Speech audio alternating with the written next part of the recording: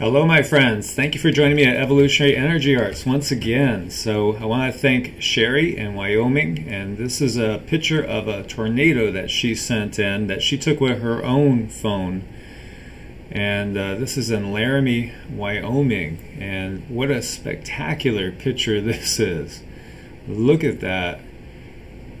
As I've shared with you guys before, I've, I've had up close and personal experience with a tornado once, and uh, I'd like to keep it that way. Once was more than enough.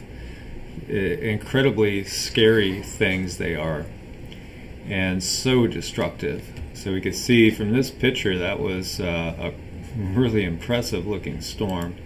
Here's another photo from a farther distance away. And another one showing extremely ominous clouds and you can see the tornado in the distance. And again this is Laramie Wyoming.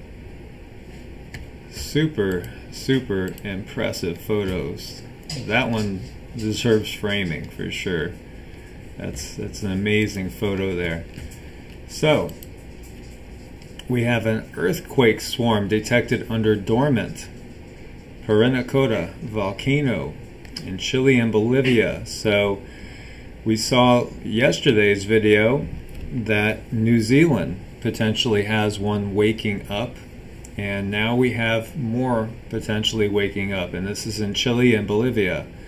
A seismic swarm has been detected under the Parinacota stratovolcano along the Chile-Bolivia border on June 6th. There are no known historical eruptions of this volcano. However, helium surface exposure dates have been obtained for eruptions during the past 2,000 years. And the, storms, uh, the swarm started at 2103 UTC and consisted of 90 VT, volcano tectonic earthquakes in 85 minutes. The largest was a 2.3, located 6 kilometers southwest of the crater at a depth of 10.6 kilometers. So the alert level remains at green. It is the southernmost and youngest of a pair of volcanoes forming the Nevados de Payachata group along the Chile-Bolivia border. And here we can see the area that it is. As we scroll out, definitely definitely a lot going on and a lot waking up as as we've seen, and we're just going to have more of these things increase. And so I was watching this morning Adapt 2030, David DuByne, who does such a beautiful job of explaining things.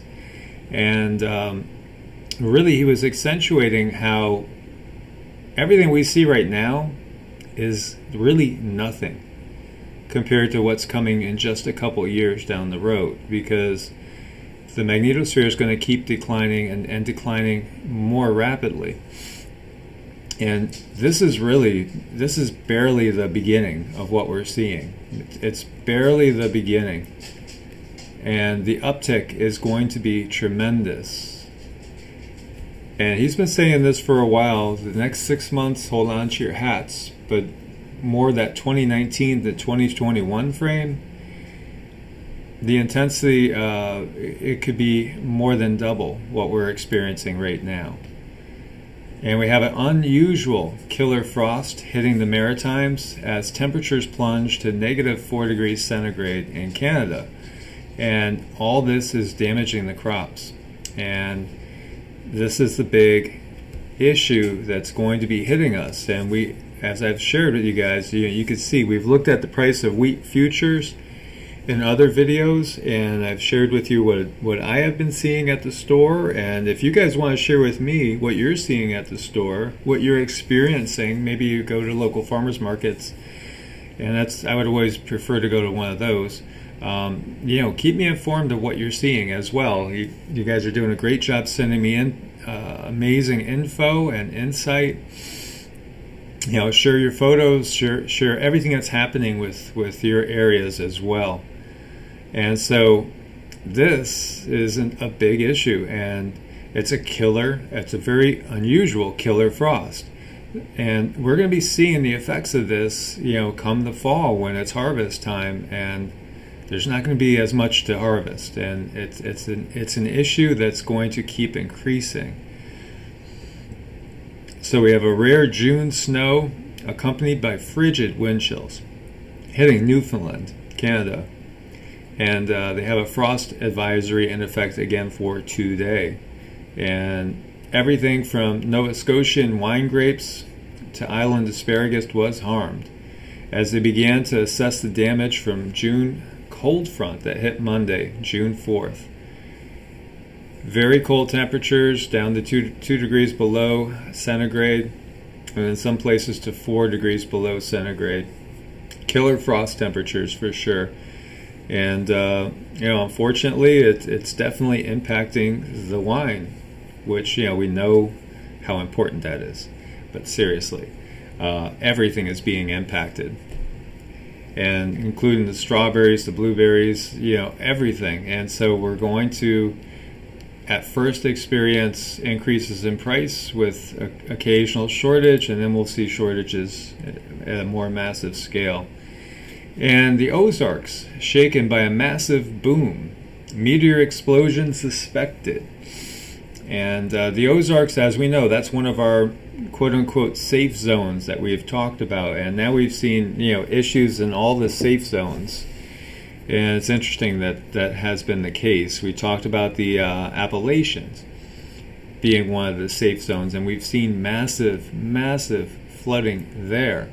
And uh, we've we've also talked about New Mexico, Colorado, Arizona, Utah, the Four Corners area, and we have seen a lot of issues there. We see uh, forest fires there right now on a large scale. We see drought there. We see the trees dying from a combination of drought and also perhaps UV exposure. Um, interesting interesting things we're experiencing, and, and here we have the Ozarks shaken by a massive, massive boom. And so this was heard and felt in the Ozarks shortly after noon local time on June 6th. And they believe it was a meteor. And, uh, you know, more than likely, we, we've had quite a few of these. We, we covered them the last couple of days.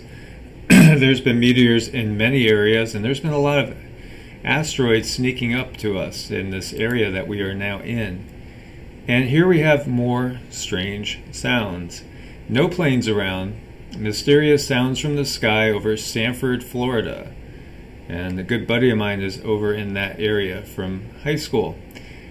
And um, this clip captures in Sanford, uh, Florida, clearly strange sounds from apparently the sky again.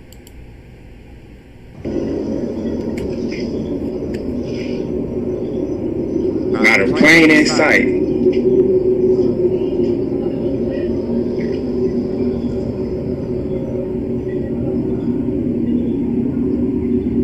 That sounds like a plane to me. That doesn't sound like the other ones.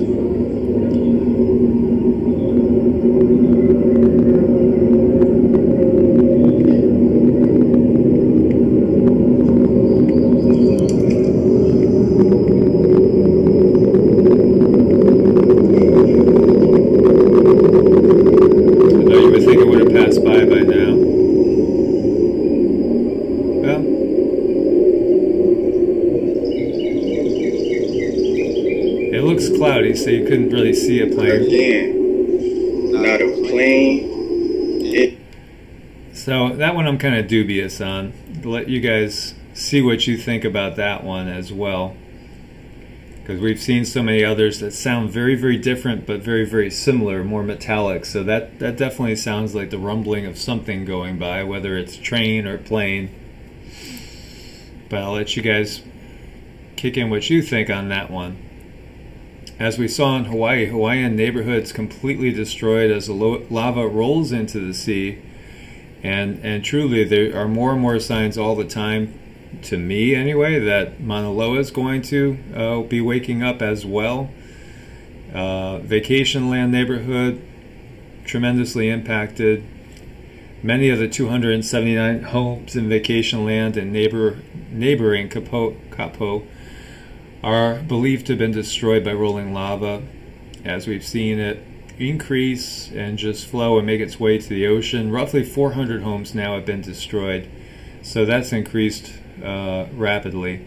And Wednesday we had another 5.6 uh, eruptive explosion that sent ash plume 10,000 feet into the air. So this is just it's it's really very steady and very cyclic, and we're seeing this continually as this ramp up.